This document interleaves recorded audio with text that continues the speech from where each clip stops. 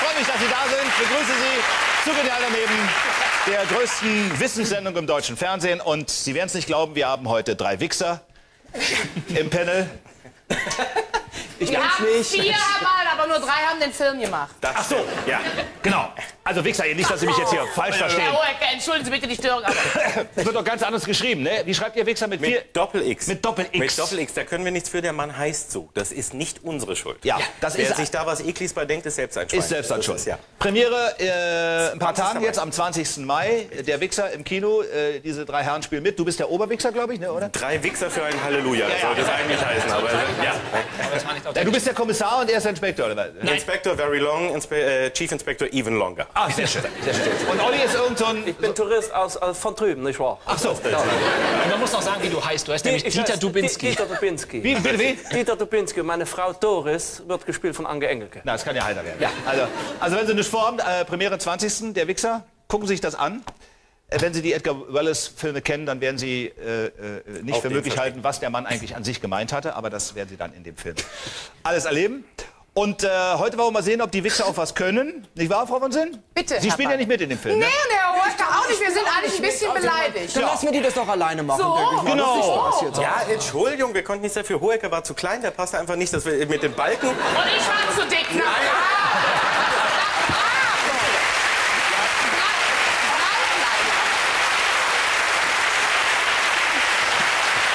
Die haben sie dann nicht reingelassen.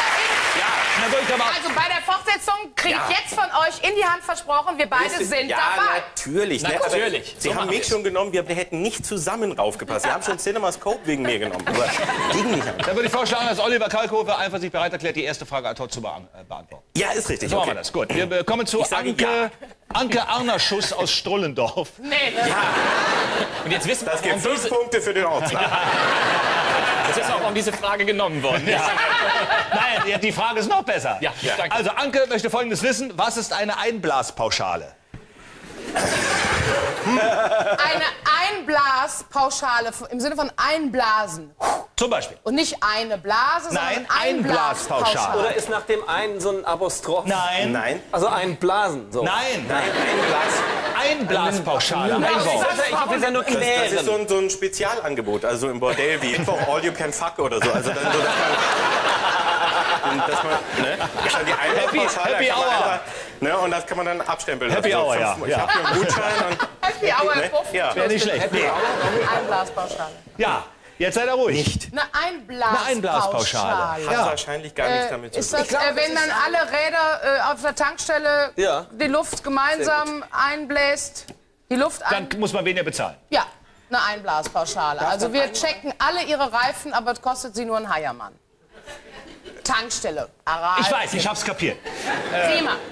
Ja, nein. Es ist natürlich aus dem Surfsport, wenn ich mit meinem Surfbrett, und ich habe eins, das wissen Sie alle, also mich auf das Dings, dann äh, ist halt immer ein gewisser Windstoß da. Und man weiß halt nicht, wie lange der anhält. Und je nachdem, wie kurz der ist, muss vorher am Strand eine Kurtaxe oder etwas ähnliches dafür zahlen. Und das ist eine Einblas. Also wenn der Die Wind praktisch Windkurtaxe nur einmal bläst. Richtig, wenn der Wind nur Die sehr... Windgebühr. Es gibt ja Im Film Wind auch, nicht? Absolut. Wenn der Wind nur einmal bläst. der Wind nur einmal Das ist ein Film, glaube ich, Heute gewesen. in Sat 1. Natürlich. Aus unserer Senderei Gefährliche Lidschatten. Ja. Liebling, Sie haben meine Einblaspauschale geschoben. Ja. Disney-Film. Ja. ja, alles verkehrt. Aber Sport ist ganz fa- falsch. Also ist Okay, dann lassen wir Sport mal grundsätzlich weg. Das ist gut, weil ich verstehe nichts davon. gut. Ich Jetzt glaube, aber. es kommt aus der Luftfahrt. Und zwar ist das die Gebühr, die ein Fesselballonbesitzer bezahlen muss. Ähm, das ist sozusagen das einmalige Starten auf einem äh, Stück Wiese, wo die Luft hereingeblasen wird, damit der starten kann. Finde ich sehr Nein, gut. aber vielleicht einen Luftballon, den man so auf dem Schützenfest kauft. Also den kriegt man dann für 1 Euro den Lappen und mit einer Einblaspauschale von 5 Euro extra kriegt man dann den ganzen Spaß. Vielleicht glaube, ist das es wirklich, das ist der Mitarbeiter beim, äh, beim, Pfeile, beim Pfeilewerfenstand, der die Dinge aufpustet. Der wird nämlich nach Ballons bezahlt. Ja. Und dann kriegt er nämlich für rote etwas mehr, weil die ja giftig sind. Das weiß man ja. Ich glaube, es ist ein Begriff aus der Medizin. ja. Herr Balder.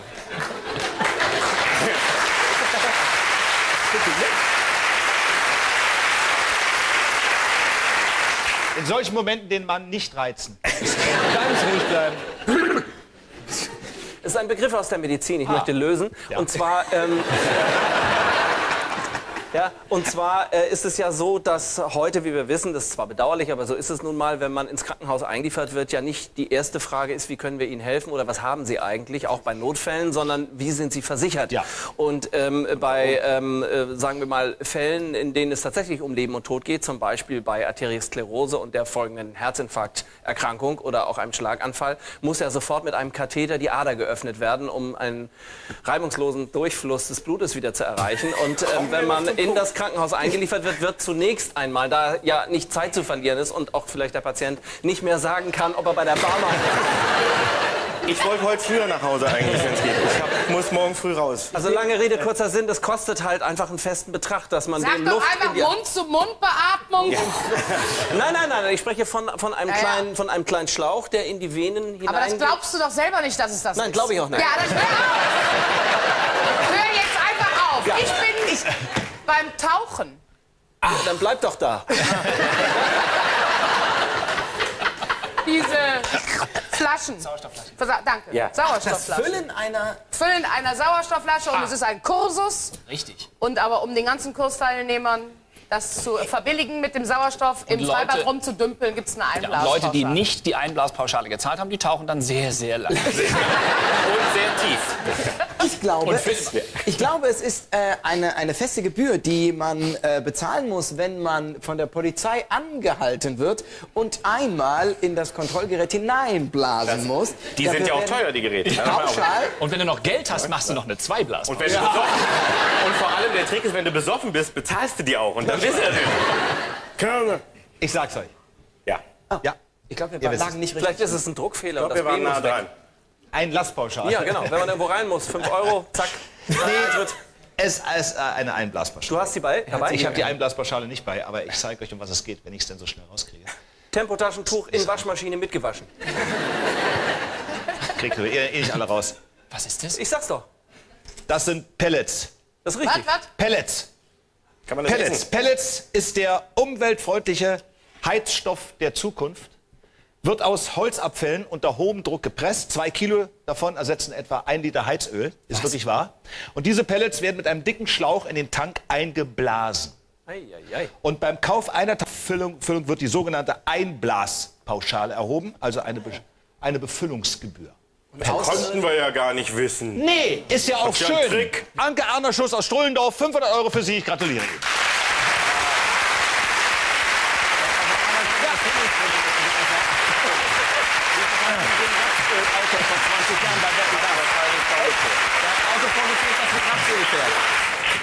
Simon Sauter wohnt in München und möchte wissen, warum werden in Kalifornien Uhren gebaut, die jeden Tag 39 Minuten nachgehen?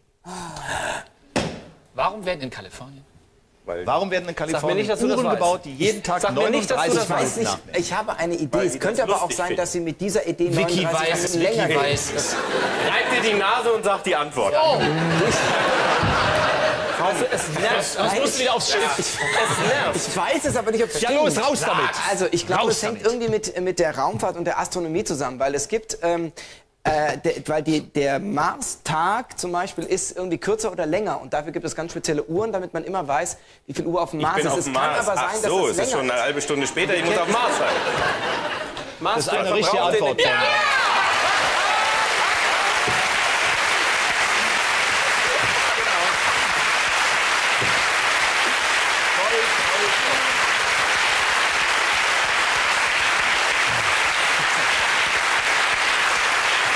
Das stimmt wirklich, dass diese Uhren im Auftrag der NASA gebaut werden.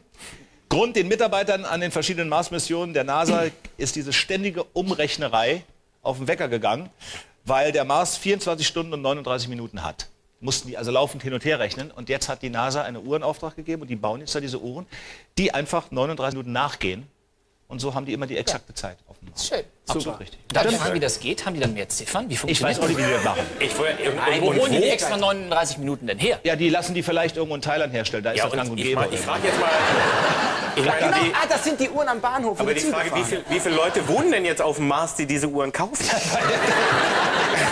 Also ist doch irgendwie ein scheiß Es ist Geschäft, albern, oder? ja. Es ist Die in albern. Mars bauen jetzt um die 39 Minuten weniger haben. Freunde. Das macht mich ist albern. Ja, Simon, es tut mir leid, das wurde gewusst. Nichtsdestotrotz machen wir weiter und äh, kommen zu Markus Steinkamp. Er wohnt in Wallenhorst und möchte Folgendes wissen. Warum wurde 1991 die komplette Auflage eines Uli Stein Schreibblocks beschlagnahmt und anschließend vernichtet? Uli Stein, Uli der Stein Torwart? kennen wir alle. Der Nein, Torwart vom der HSV? Zeichner. Der Zeichner so. hat einen Block gemacht Ja. und der wurde wieder zurückgerufen. und vernichtet. 1991. Die komplette Auflage eines Uli Stein Schreibblocks wurde beschlagnahmt und anschließend vernichtet. Warum? 91. Wiedervereinigung. Es war ein Mauerwitz drin. Nee. Vergessen Sie, was ich gesagt habe. Was hat denn ein So das Übliche, dass es, äh, sagen wir mal, ein, ein Plagiat war, dass irgendwelche Raub, Raubdrucker irgendwie war, das war das sozusagen, wie man das ja auch von Markenwaren kennt, irgendwelche Also Uli Rolex. Stein gehört ja zu meinen Lieblingszeichnern. Ich habe den sehr gerne und der ist ja gerne ein bisschen makaber auch und zweideutig. Und war das, hat es was mit den Gefühlen f- von irgendwelchen Minderheiten zu tun? Nee. Hat es was mit Emblemen zu tun, die wir nicht mehr sehen wollen? Nee. So, es gibt so ein, so ein schwarzes Buch von ihm, wo nur Sachen drin sind, die früher auf Blöcken waren, die dann komplett in der Auflage wieder eingesammelt wurden. Aber Das ich ist auch weiß- eingesammelt, weil es war zu dunkel. Ja, aber ja, Sein Name war falsch geschrieben. Nein. Also keine Befindlichkeiten von Uli Stein. Gibt es ja irgendwie diese beiden lustigen Salzstreuer, wo die beiden Tiere da miteinander. Nein. Das ist es auch nicht. Ja. Was war Vielleicht ist es 91 was noch? ganz ordinäres. Er hat einfach bei seiner blöden Maus den Schwanz vergessen. Und dann, Aber deswegen wird ja keine komplette, komplette Auflage beschlagnahmt. naja, die Mäuselobby in Deutschland. Ja, 91. Komplett die gesamte Auflage. Ein Fehldruck. Auf der Rückseite war vielleicht irgendetwas anderes oder sie haben es irgendwie falsch rum gedruckt, nämlich so, dass man, wenn man den Block. Das wäre ja egal, Genau. weil man könnte ihn ja wenden. Aber es ist ja so. Also nicht irgendwie, dass es verkehrt rum ist, so dass der Klebestreifen oben ist und die Mäuse alle nach in die falsche Richtung gucken und so. Man kann sozusagen nur auf die umgedrehte Maus schreiben oder sowas. Nein. Ach, meinst du, So ein so- Block ist so doch, ein ist doch oben immer so, so, so gebunden mit so, mit so einem Klebestreifen-ähnlichen Teil, mit so einem Schleimding. Die Frage ist, ich Leim, glaube, das ist ich glaube, so Leim. Leim heißt das Wort. Leim ist das. Leim. Ich glaube, so ein einfacher Fehler wie ein Druckfehler oder Herstellungsfehler ist es wahrscheinlich nicht, weil da hätten Sie nicht so viel Spaß, Herr Balder, das weiß ich. Richtig. Es ist wahrscheinlich irgendwie etwas, was mit dem einen Motiv zusammenhängt, was auf allen Blättern drauf ist, denn an sowas haben Sie Spaß, Herr Balder. Ja. Und jetzt seid, und jetzt seid ihr wieder dran, liebe Kollegen. Wer möchte Also ich, also ich, ich denke, das war ja erst schon rausgekommen, oder? Also das, Das der- war der schon war auf dem Markt. Ja, dann ja. ist jemandem das aufgefallen und dann war die Hysterie groß. Ja. Also glaube ich, dass es sich um ein Politikum gehandelt hat und bin eigentlich beim Geheimdienst. Dass der zufällig irgendetwas... Ich habe einen Frosch im Hals, Kinder, macht ihr weiter. Absolut. 91, was Politisches läuft. Ich mache das weiter. Und zwar war dann nämlich der Golfkrieg. Vielleicht haben da einfach zwei Katzen oder zwei Golf Mäuse und gespielt. sowas Golf alles. gespielt. Golf gespielt, ganz genau. so, das Auto ge- ja. ja. Nein, oder irgend irgendwas Entschuldigung. Vergleichbares irgendwie mit, mit, mit einer Rakete aufeinander geschossen. Nee, irgendwas. es Nein, hat nichts mit dem Golfkrieg zu tun. Völlig Und ich richtig. Aber es ist was. Politisches. Es ist auch nichts Politisches. Könnte es sein, dass das. Papier von dem Block aus Tropenhölzern gewonnen wurde? Dann wurde der Block in die Tropen geschickt. Die haben sich Ja, tierisch gefreut. und wieder eingepflanzt. Könnte es sein, dass dieser Block ein, ein Einlegeblock mit äh, Löchern war für ein Filofax und die aus Versehen die Löcher an falschen Stellen gemacht haben und Löcher keiner konnte es hatten verwenden? versehentlich. Das ist Hat nicht es schlecht. was mit Uli Stein zu tun? Ja, natürlich. Dann ist Dann, das der hat's ja gemacht. Schon mit dem Bild, wieso? also Ich nicht meine, das ist irgendwie ja das keine Papier war schlechte Gift. Idee. Was war das? Ein Schreibblock? Ein Schreibblock. Das heißt, es geht Das um heißt, es ein war oben Motiv. gibt's nur ein Cover und in der Mitte sind karierte oder linierte Blätter. Sie hatten die Linien vergessen. Ja, genau. Das war nämlich ein, äh, da war nämlich vorne eine Maus. Ich erinnere mich genau. Es war 98 und zwar. äh, meine ich doch. Und zwar, äh, ja genau. Und es stand nämlich 98 auf dem Block drauf. Und das ist falsch. Nein, ähm, es war ein Schreibblock, wo jemand etwas geschrieben hat. Es waren aber Karos innen drin. Und jetzt, ich meine, die Lobby der Verwirrung war Pädagogen in groß. Deutschland ist natürlich, da haben nämlich die ganzen Grundschüler sich verschrieben. Und das sollte nicht Also ich so hatte sein. jetzt so spontan die Theorie eben bei einem Schreibblock.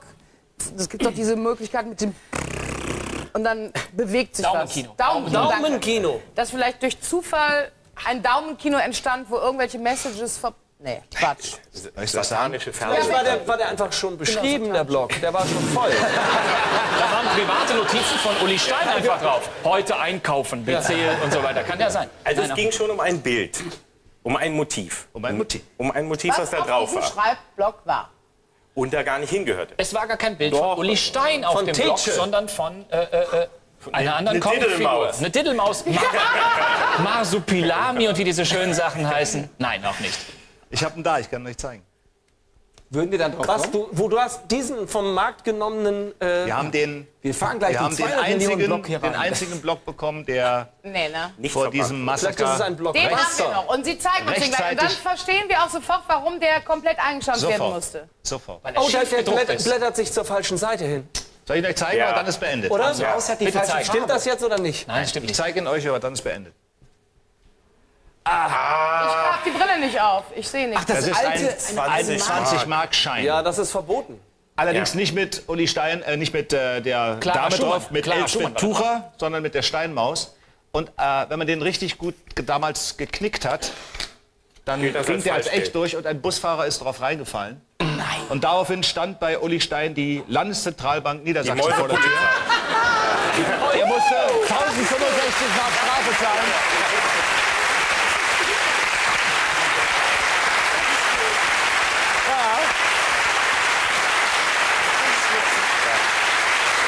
So wieder aus.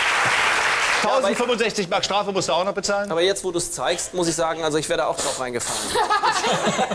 ja, es, vor allem die Rückseite auch. Ganz, Die Rückseite war dann, wenn man äh, damit bezahlt hätte. Ja, ja. doch? Das ist Da konnte man ja sogar 50 Mark draufschreiben auf die Rückseite. Ja, das ist ja wunderbar. Markus Steinkamp aus Wallenhaus, 500 Euro für Sie. Gratulation. Sehr gut. Wohnt in Herne. Heute Abend ist sie bei uns. Julia? Da ist sie. Julia! Julia. Julia, schön, dass Sie da sind. Sie haben eine sehr schöne Frage und äh, ich bin sehr gespannt, ob die 500 Euro Ihnen gleich gehören. Mal gucken. Julia möchte gerne wissen, wie kam es, dass der britische Opernstar Quentin Hayes in Birmingham regelrecht um sein Leben singen musste?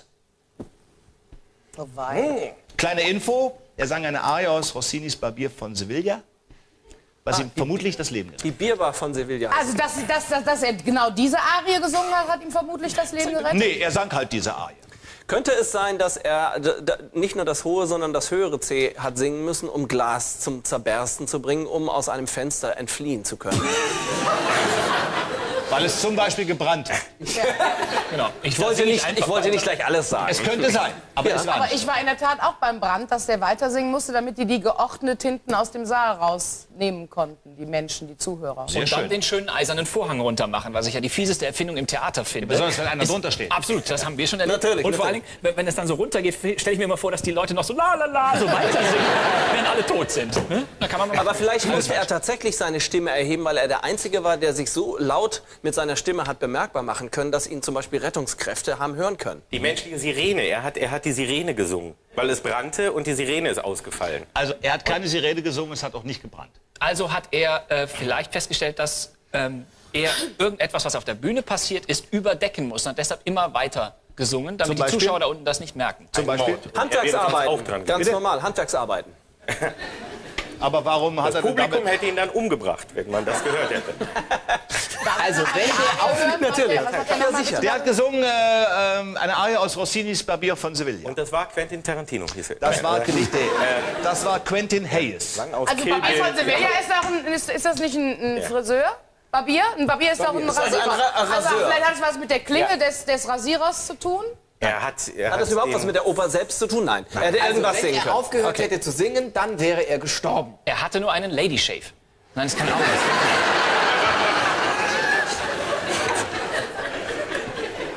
Ist es so, wenn er aufgehört hätte zu singen, wäre es, wäre es für Zu ihn... 99 Prozent wahrscheinlich. Wäre er wirklich tot gewesen? Wahrscheinlich. Vielleicht äh, hatte er ja irgendein Ah, Krankheitsbild. er hat das verschluckt.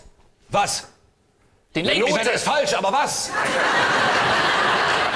Vielleicht den Rasierschaum. Ah, jetzt ist ganz falsch. Das Rasiermesser. Nein. Vielleicht muss er, ich dachte jetzt, Wird der Barbier von Sevilla am Schluss nicht erhängt in dieser bekannten Oper?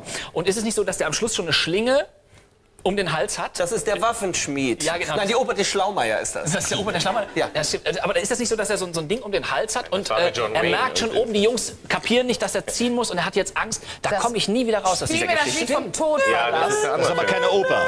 Nee, nicht wirklich. Vielleicht hatte der ja irgendwie einen Asthmaanfall und durch diese Gesangstechnik war er in der Lage, sich weiter bei Atem zu halten. Ja, indem er sich zum Beispiel, um, zum Beispiel indem er sich gut, indem er sich umgedreht hat und noch so, noch mal so nachgezogen hat, wie das ja Heinz Schenk mal gemacht hat, als ihm die Zähne rausgefallen sind aus der Show. Ja, zum Beispiel. Nein, ist es auch nicht. Der hat sich über das Singen Luft zugefügt, die er sonst nicht bekommen hätte. Ja, das, ist, das tut man ja eigentlich nicht, sondern eigentlich wenn überhaupt das Gegenteil. Also die Frage ist ja, ob er tatsächlich durch die Technik oder durch, durch den physischen Vorgang des Singens sich vor dem Tod bewahrt hat oder ob es sozusagen indirekt etwas anderes bewirkt hat. Können Sie das irgendwie beantworten? Sollen wir Ihnen das mal erklären, Herr Balder, was er Ja, ich gemeint hat? überlege gerade, ob ich dazu Er was sagen schon kann. verstanden, Herr Ich Hohecker. glaube nicht, dass es an deiner Formulierung lag. Ich glaube auch nicht. Also mit der Technik hat das, glaube ich, in erster Linie mal weniger was. Er war allergisch gegen die Stille. Hätte er auch irgendetwas... Genau, wenn er aufhört. Wenn er aufhört, hört, Nur gesungen! Das heißt, singen, wenn Fellow. er auf der Bühne bleibt, vielleicht sogar an dem Ort, wo er steht und sozusagen immer weiter singt, kann ihm nichts passieren. Das ist also eine örtliche Begrenzung. Das heißt, wie wir schon gesagt haben, draußen ist irgendein Brand? Nein, kein Brand. Eine Überschwemmung? Nein. Ich singe einfach mal weiter, während die anderen den Notarzt holen, bevor die anderen dann kommen. Aber das hat ja nichts mit ihm zu tun. Aber er hat Absolut gesungen bei der Hochzeitsfeier von irgendeinem Mafia-Paten oder so.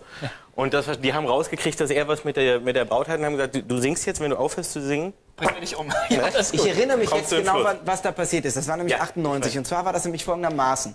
Die Frau, die die äh, Bühnenpartnerin von ihm gespielt hat, die hat zum ersten Mal gespielt und ihr Vater hat dabei zugeguckt. Jetzt verliebt sich der Barbier ja in diese Frau. Das wollte der Vater nicht und hat gesagt, wenn du mit da runterkommst, dann hau ich dir die Fresse an, ich bring dich um. So, innerhalb des Liedes ist es jetzt inhaltlich so, dass gesagt wird, ich liebe dich, ich liebe dich, ich liebe dich, ich liebe dich und dann ich liebe dich nicht. Und dann war der Vater beruhigt. Macht ihr doch weiter. Vielleicht, vielleicht, vielleicht war er zu Aber eigenartigerweise. Nein, nein!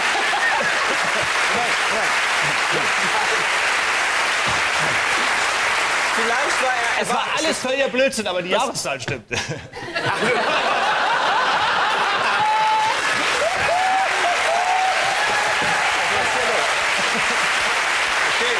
du doch eben vorlesen, aber nicht die Jahreszahl.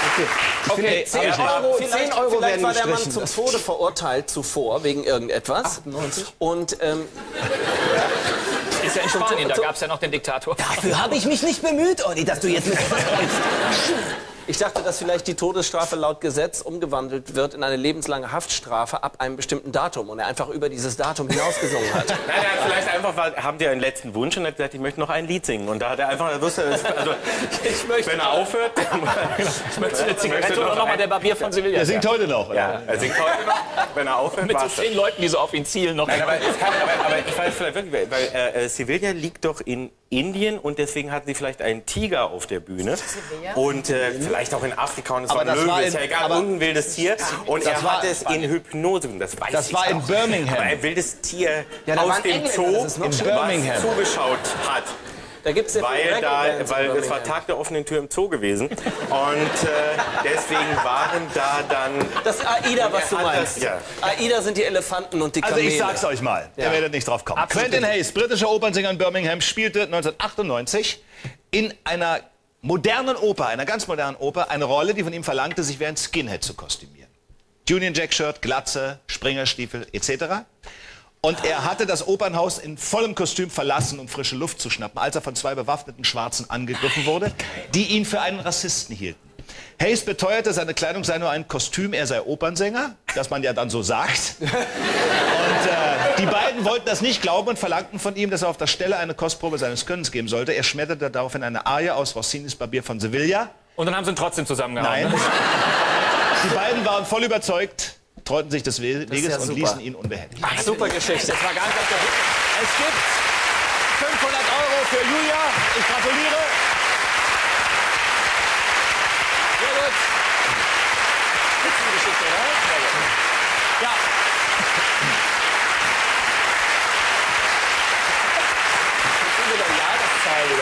So war das. Meine Damen und Herren, wenn Sie auch eine schöne Frage haben, können Sie uns die schicken. Genial daneben 50 616 Köln oder Sie rufen an 01378 10 11 20 oder einfach eine E-Mail fragen at genialdaneben.de. Wir kriegen so viele Fragen immer von den Zuschauern, die gerne wissen möchten, welche Fragen denn schon gestellt wurden, damit sie die nicht nochmal schicken.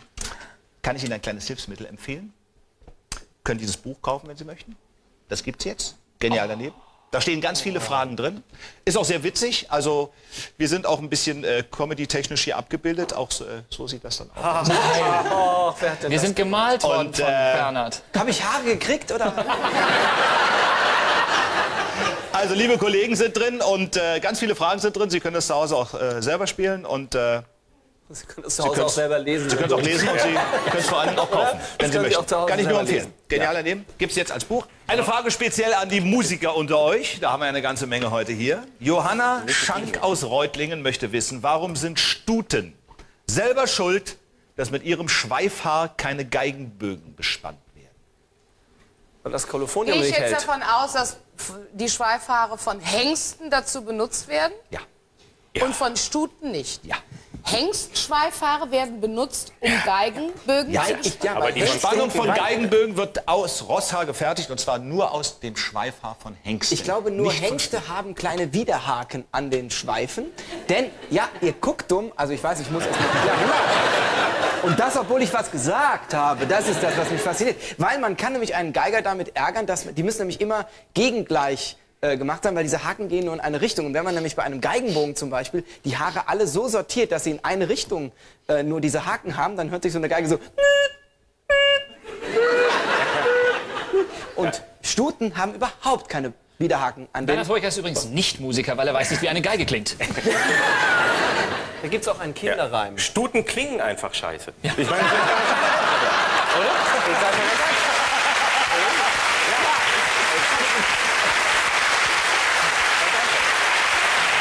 Frage war doch, warum Es selbst schuld sind. Und wenn also die Beschaffenheit des Stutenschweifhaares von Natur aus anders, nämlich mit Widerhäkchen wäre, dann wären sie es ja nicht selbst schuld. Habe ich damit recht? nein, Also, jetzt haben ich sage nicht. mal so, Das ist Sie, äh, aber ist Sie sind klar. natürlich, Sie sind natürlich nicht im wahrsten Sinne des Wortes.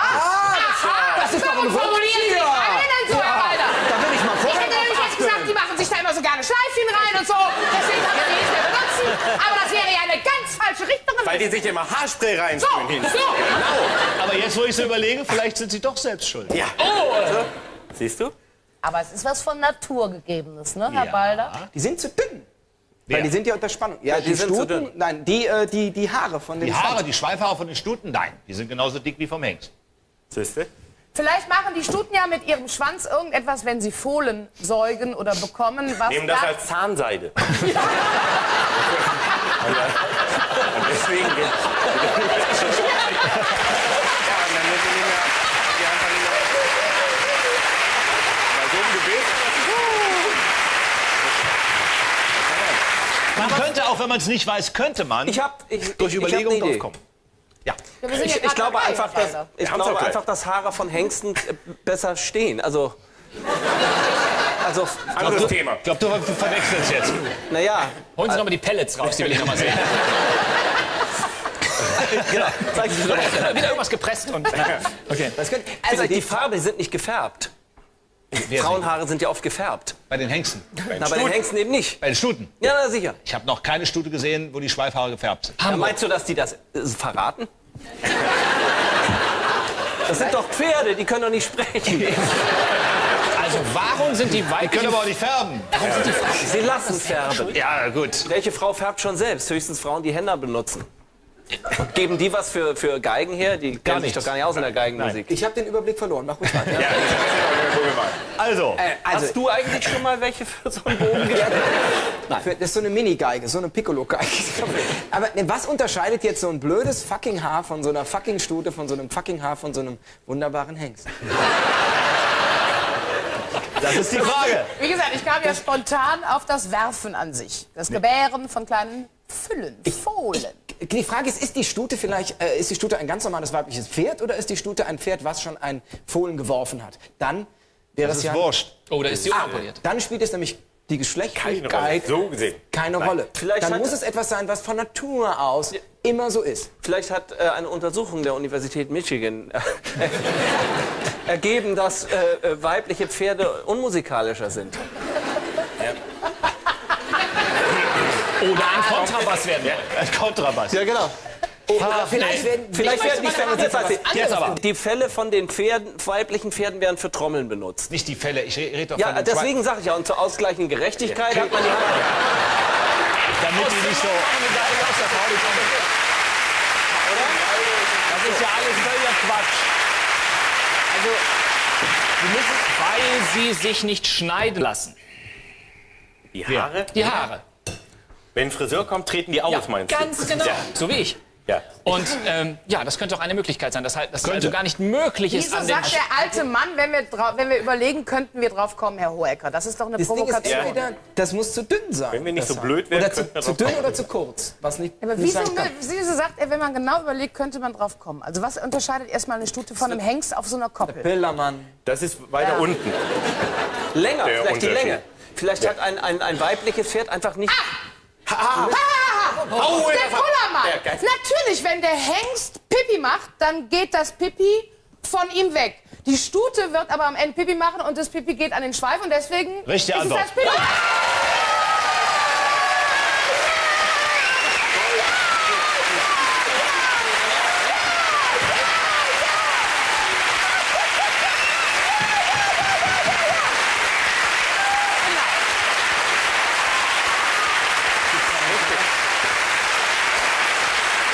Genau, und die Harnsäure wird, die Harnsäure wird irgendwas mit den Haaren machen, dass man das nicht mehr benutzt. Ja, also durch den kaputt. ständigen Kontakt mit dem scharfen Urin sind die Schweifhaare von Stuten nicht so reißfest wie die von Ja, Hengsten. das macht Sinn. Aber da- da- ich habe ja gesagt, wir man Männer kann gar Ja, ja, ich weiß, wie ich gesagt habe. Das war ja eine schöne Hilfe. Johanna, Ja, seien Sie mir nicht böse, aber äh, das ist. Äh, So, weil Sie geholfen haben, müssen wir dir jetzt 250 Euro geben? Nee. Nein, nein. Hildegard Röschner wohnt in Bensheim und möchte wissen, was ist ein Seitenlinienorgan? Ein Seitenlinienorgan. Das ist ein öffentlicher Mitarbeiter, der dafür zuständig ist, auf der Autobahn die Seitenlinie zu malen. Das ist äh, das Organ, das macht ihr mal was vielleicht. Ja, ich wäre jetzt auf einem Fußballfeld oder auf einem Fußballplatz oder auf irgendeinem Sportfeld, weil da gibt es ja eine Seitenlinie. Und, aber was ist ein Organ? Ja. Ich glaube ganz einfach, dass das äh, die Stimmbänder von John McEnroe sind. Das war vor 40 Jahren mal ein Tennisspieler. meine Damen und Herren. Ich kenne den ja noch. Ich Weil kenn den immer noch. wenn der Ball seiner Meinung nach noch auf der Linie war Ja. und der Schiedsrichter aber gesagt, der Ball ist out, hat geht's er los. besonders stark ähm, mit seinen Stimmbändern. Okay, dann wolltest du nicht Nein, ich hatte das schon lange, ich hatte das schon lange Ist weitergegeben. Organ vielleicht irgendein so ein Warnsignal oder so ein Signal? Also da gibt es ja so, so Hupen und sowas. Am Boxring irgend so ein Gong oder irgend sowas vielleicht? Nein. Falsch. Ja, danke. Äh, Ist es ein richtiges Organ? Also ist es vielleicht, wenn, wenn so der Metzger äh, guckt, was wie er die Kuh zerteilt, dann malt er das wahrscheinlich erst mit Kreide auf und macht so die Linien, damit er so weiß, so ein Schnittmusterbogen. Und dann sind die Organe, also so die Leber und die, wa- was ist das, auf den Seitenlinien sind die Seitenlinienorgane. Finde ich gut. Und das andere ist das Mittelfeldorgan und dann gibt es noch rechts außen, links außen Organe. und so Abseitsorgane. Abseitsorgane. Also so ein krasses Organ ist es nicht.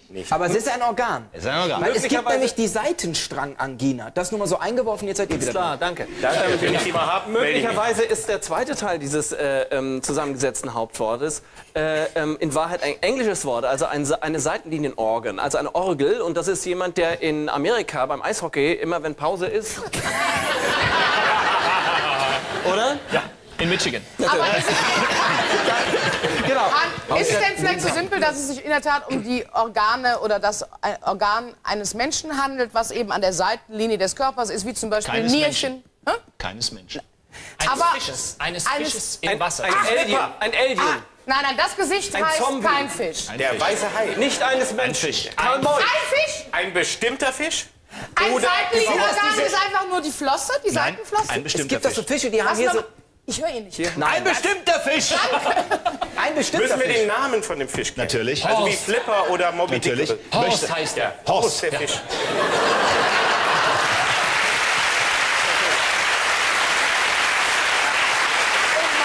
An ihm da oben.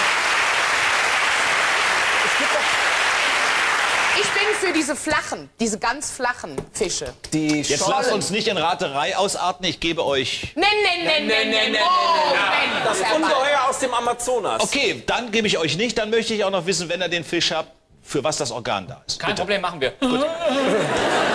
Seitenlinieorgan. Dann ist, Das es, dann ist es der Aal. Der Aal. Ja, weil er ist selbst eine Seitenlinie. Es ist der Hering in Tomate. Was am Rand liegt. Und das Seitenlinienorgan ist das scharfe. Ding, wo Ja. man sich immer schneidet, das wenn man dann... Das ist, das ist die Aufrisslinie an der Fischtube. Genau.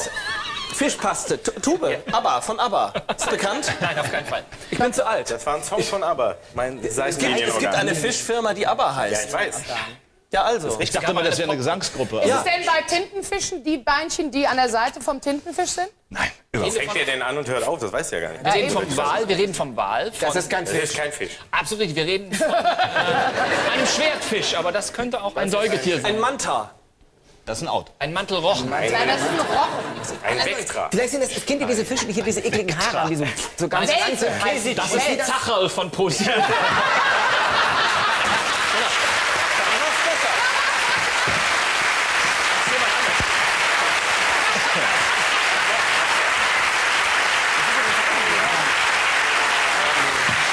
Ich werde es euch sagen. Ein Zebrafisch. Moment, Herr Balder, ist es ein Süßwasserfisch? Ich sag's euch jetzt. Ihr ratet nur, ich sag's euch. Ihr wisst ja auch gar nicht, was es für ein Organ ist. Natürlich. Also, ja, aber wir wollten ja erstmal den Fisch ja, auch erraten. dann wisst ihr das nicht. Also, Moment! das sogenannte... doch lieber mal, wen- versuchen wir es doch mal. Sie sagen den Fisch und wir sagen Ihnen das Nee. Organ. Nee. Also, das sogenannte Seitenlinienorgan ist ein wichtiges Sinnesorgan des Hais. Das Seitenlinienorgan wird auch Ferntastsinn genannt. Es verläuft auf beiden Seiten des Hais vom Auge bis zur Schwanzflosse und registriert auch noch so geringe Druckveränderungen im Wasser. Der Hai kann also mit Hilfe des Seitenlinienorgans bewegliche Objekte orten und identifizieren. Vor allem Der nackte muss gar nicht Schwimmerin, das gucken. haben wir in dem Film Nackte damals. Schwimmerin, ist immer, ne? sowas. Nick. Ja, jetzt wissen wir es. Hildegard Röschner, 500 Euro für Sie. Ich gratuliere Ihnen. Spricht sie auch Kathleen aus, denn sie schreibt sich wie Kathleen. Kathleen Fugmann aus Sagen Aue. Sie bitte Kathleen, weil das TH liegt Ihnen nicht, Herr Balder. Sonst wäre es ja, ja, sonst wäre es auch Kathleen Fuckman. Und das war Die Kathi. Die Sagen Sie Kathi. doch die Zusenderin, das wäre Ja, auch noch. sie wohnt in Aue, lebt in Sachsen und äh, die Kathi, Katie, möchte gerne wissen, warum gab es an der Jobbörse der Disney Parks im März 2002 plötzlich einen Bewerberansturm? An der Job Jobbörse Der Disney, der Disney? Parks im März 2002 gab es plötzlich einen Bewerberansturm. Vielleicht, weil Dagobert Duck zum ersten Mal Viagra probiert hat. Deshalb ist er auch so Okay, blau. weil in dieser Zeit der Film Lilo und Stitch herausgekommen ist, wenn ich mich nicht irre. Und Lilo und Stitch sind zum ersten Mal in der seltenen Geschichte der Disney-Zeichentrickfilm-Klassiker keine Tiere, sondern, Sondern? Menschen. Und diese Tiere werden ja vorher, also Baloo der Bär zum Beispiel, von lustigen Studenten im Disney-Park dargestellt, die in so Nein, ein das sind Kostüm. echte Bären. Das sind echte Bären natürlich. In ein Kostüm, die in ein Kostüm reinschlüpfen. Bei Lilo und Stitch dagegen sind es echte Menschen, die man sozusagen nur anmalen und verkleiden muss. Und denen ist in diesen lustigen Figuren und in diesen lustigen Pelzen nicht so heiß. Falsch. Falsch. Danke. Ja, aber Aber Sie haben es alle geglaubt. Das ist eine sehr überzeugt.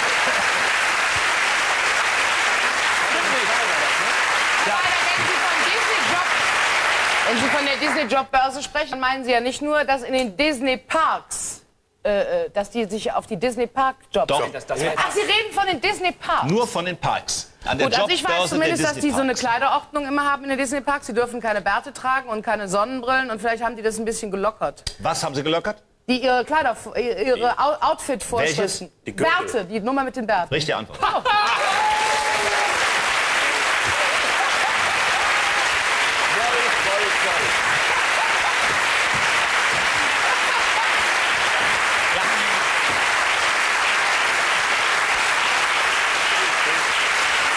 Im März, Im März 2002 wurde nach 43 Jahren ein von Walt Disney persönlich erlassenes Verbot aufgehoben. Erst, erstmals durften sich Männer mit Vollbärten Hoffnung auf einen Job in einem Disney-Vergnügungspark. Und vor allem Frauen mit Vollbärten. Ja. Deswegen weiß Henna das auch so genau. Ja, Kesslin, Fugmann aus. Aue. Es tut mir leid, Frau von Sinn hat's gewusst. Wir kommen zu Markus Diehl, er wohnt in Berlin. Und äh, was eine Idiotie ist, wissen wir ja alle. Aber er möchte wissen, was ist denn eine, eine Kälte-Idiotie? Kälteidiotie. Das ist, glaube ich, ich habe das mal gesehen in einem Film.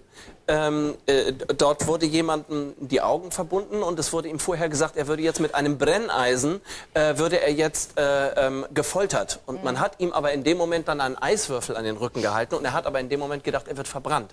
Ich glaube, dass ähm, der Körper ähm, bei solchen Reizen manchmal nicht in der Lage ist, äh, zu unterscheiden, ob es ganz Körper heiß ist ganz oder schön ganz blöd, willst du sagen. Ja. Ansatz ist richtig. Der Ansatz ist richtig. Also ich hätte zum Beispiel jetzt gesagt, das Phänomen, dass man eigentlich denkt, dass man im Winter heiß duschen soll, wenn einem kalt ist, aber falsch. Man soll ja kalt duschen, Damit warm einem wär- ja, damit's warm, damit man warm wird im, Oder im wenn man- Winter. wenn man im Oder Winter- Sauna zum Beispiel. Also Wenn man zu doof ist, die Heizung aufzudrehen im Winter. Kälteidiot. Ja. Also diese Spandinger nehmen, die er noch in der Tasche hat. Ne? So, aber Ja, das stimmt. Man soll ja auch äh, warm trinken, wenn einem warm ist und nicht kalt trinken. Und das ist Also total der Ansatz eben war richtig. Das heißt Ansatz, Mit also- den Augen verbinden. Nee, mit dem Leim wäre richtig. Mit dem Leim der Ansatz. Nein, Vielleicht ich ist bekomme, es das Phänomen, ich, wenn ich, man ich verbrenne, aber erfriere. Das ist es doch wahrscheinlich. Also ich verbrenne, ich werde in ein Feuer geworfen und ja, aber das bezeichnet man nicht an als Kälteidiot. Ja, aber Herr Hoher kann das ja jetzt sagen. Ich fühle mich gerade etwas unter Druck gesetzt, aber egal. Äh, ist das vielleicht diese, ist es vielleicht diese, diese, diese völlig idiotische Eigenschaft des Körpers, dass er, äh, wenn man eine Hand in warmes Wasser hält und die andere in kaltes Wasser und dann Muss beide. Hände in dasselbe warme Wasser, in gleich warmes Wasser hält, die eine Hand, die vorher im warmen war, das jetzt gleich kalte Wasser für kälter hält und die vorher im kalten Wasser befindliche Hand das gleich warme Wasser jetzt für wärmer hält. Das ist aber nur bei dir so. Es hat etwas zu tun mit warm und kalt. Das ist richtig. Das ja ist der das, Name. das Was? genau. Es Das Idiotische ist nämlich, dass die Italiener auf ihren warmen äh, Wasserhähnen Caldo draufstehen haben. Das ist Idiotie. Ja, finde ich gut. Das ist unsere Antwort. Das ist Das nehmen wir. Es ist auch merkwürdig, dass Leute auf alten Fotos jünger aussehen.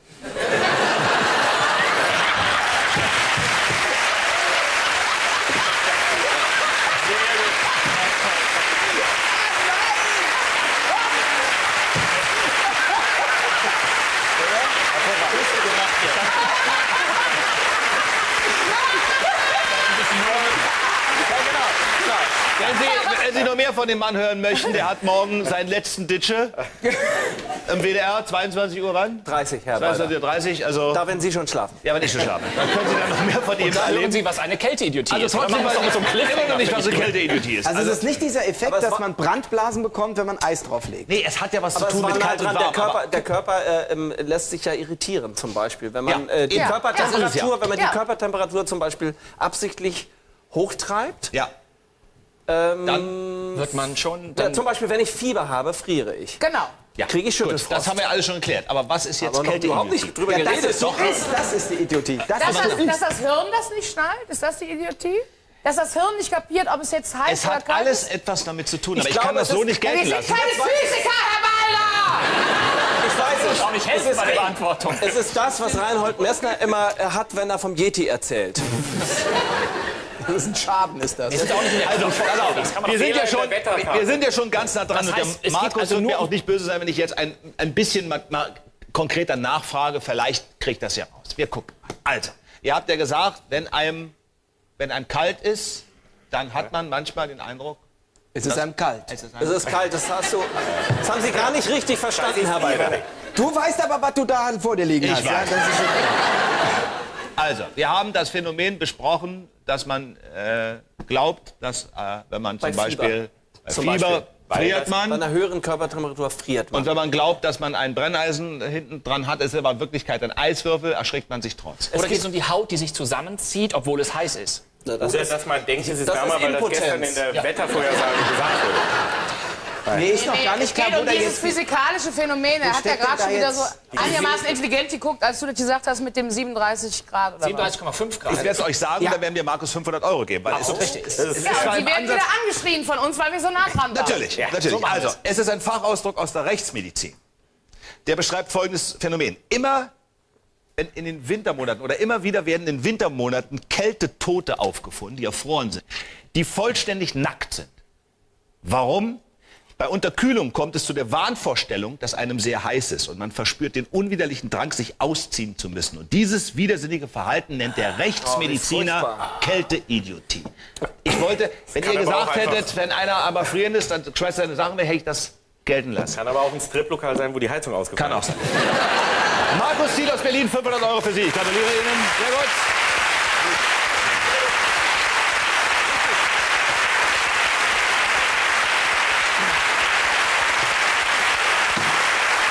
Und Herr Weiler, ich kann Sie beruhigen.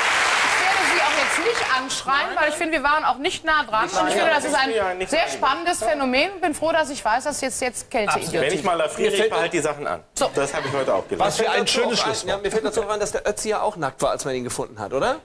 Und mir fällt ein, dass du mit Leim sehr nah dran warst. und Fixer am Donnerstag fällt mir auch noch ein. Wichser, Wichser, Wichser. Unbedingt Donnerstag ins Kino gehen. Das war genial daneben. Schönen Sonntag.